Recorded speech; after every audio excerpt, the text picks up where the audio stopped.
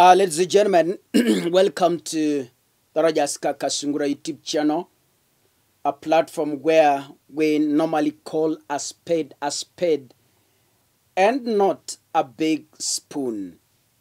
Kaka, today, Margaret Nyakango has released a bomb blast, a case study that we are going to use to ask tough questions to the Kenya Kwanza regime. This data doesn't lie because it is a certified data from the controller of budget herself, our hero who doesn't hide anything, Margaret Nyakango. From the report, recently, you heard some people shouting on top of their vehicles that we must live within our means as a country. They lecture doctors that they have no money to honor their 2017 collective bargaining agreement that was entered into between the doctors and the Ministry of Health in a seven bench representatives from both ends. Now, ladies and gentlemen, the people telling us to live within our means, are they living within their means themselves? That is the big question in this video. They have severally told us it's high time as a country we stop borrowing and live within our means. But the big question is do the giants live within our means as a country? You will get an answer after my analysis. According to the report released by Margaret Nyakango, it indicates that President William Ruto leads in overspending on hospitality. The State House and the office of the president, they are leading in this country on what we call over expenditure, meaning the office of William Ruto is leading by living outside or beyond our means as a country. Ladies and gentlemen, you cannot keep telling us to live within our means when you as a person you are living beyond our means as a country. If we are to have this candid conversation and i told you a few days ago ladies and gentlemen we can only sit to discuss this issue if the promoters of the agenda decide to drop their ego and live within our means. If they do that then i bet we will also come down as Kenyans to have a conversation. Now, in his first year in office, the financial year ended 2022 2023. Ruto has spent a whooping cash of 653.3 million on entertaining State guests. You heard it well. Not buying medicine. Not paying our soaring loan. No. Not paying teachers. No.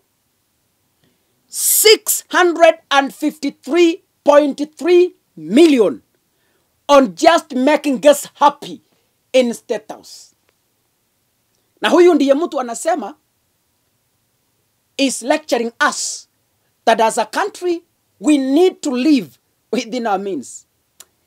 Ile sarakasi iko hii kenya mimi imenisinya. Now according to the same report state house spent 16% more than what uhuru spent. 16% more wale walituambia uhuru left empty coffers. They are spending 16% more just to entertain people. In state house. Muziki. Chingiri chingiri. Muziki tu state house na kukula mm. 653 million zimekufa. Eh, just like that ladies and gentlemen. Now ruto's office alone according to the report spent 223.5 million in just buying food and playing music in state house. Ah, ulisikia vizuri. Sio mimi nimesema ni ripoti ya Jakango. hapa siongezi sukari. I just i bring it to you the way it was reported. Yaani ofisi ya ruto ilitumia milioni mia mbili ishirini na tatu kwa wale hamwelewi kizungu nukuta tano kwa kununua chakula na kucheza muziki katika ofisi ya ruto. Hawa ndio watu wanatuambia wakenya madaktari we must live within our means. Are they leading by example? That's the question.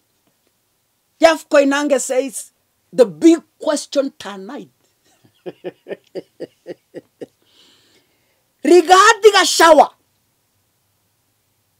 Rigiji spent 206.9 million on hospitality alone.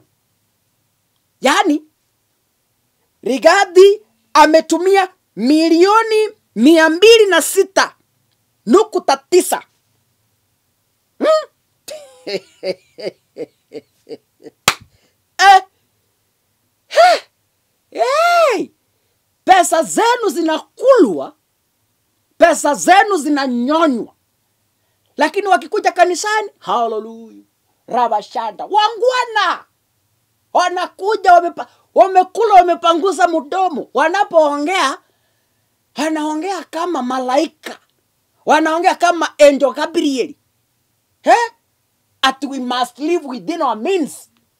Na status wametumia 209 million kwa kununua chakula na kupiga gitaa.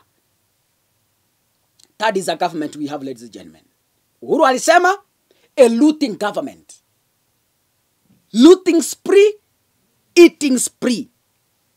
Kindiki spent 291.1 million on hospitality hiyo sio ya kupanda ndege kwenda bo- kwenda kwenda kwenda west pokot. Hii si ya kulipa asikari mishahara. Mm-mm. hii ni ya kukunywa chai na kupiga muziki. 291 million. Just like that zimeenda. Alafu kindiki is just standing with soprano lecturing doctors on how their protest is illegal. By the way, does this government knows we have a scarcity of doctors in this country? Do you even know? Do you know we have about around uh, let me be very specific so that I don't miss this data. Do you know that we have 14 doctors that serve 10,000 Kenyans in this country? 14 doctors. They serve 10,000 Kenyans in this country. Mark you. With that number, some doctors are fleeing this country due to poor working conditions. The Kenya Kwanzaa regime must know even if they employ all jobless doctors and borrow from Tanzania, Uganda, and Rwanda combined, we will not have enough doctors in this country. We still have less. So the threats that you are spreading here and there of sacking them, they are what we call juvenile and cheap threats. Kindiki is spending 291 million in taking tea. Gasha was spending 206 million in taking tea. Ruto spends 223 million in just taking tea. And then they have an audacity to stand in the public on media and to make matters worse in the church podium and they are lecturing us on how we should live within our means. Ladies and gentlemen, they must lead by example before we sit down to have this candid conversation. Otherwise, it's a hot air that can never ever go through our ears. God bless you, ladies and gentlemen. See you in the next video. Asanteni sana.